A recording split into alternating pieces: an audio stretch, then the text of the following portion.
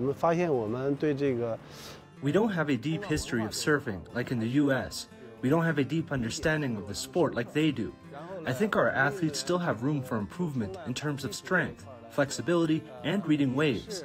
We have a lot to learn from our rivals.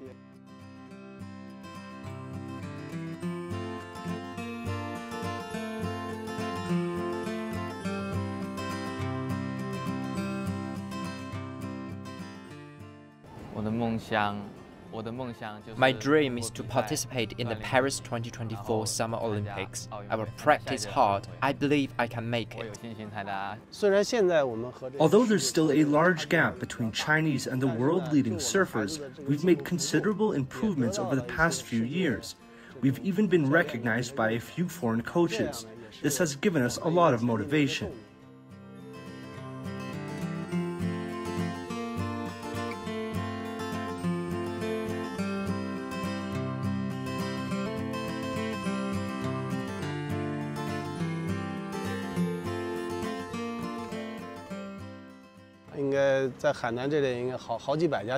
Now there are hundreds of surf clubs in Hainan, as far as I know.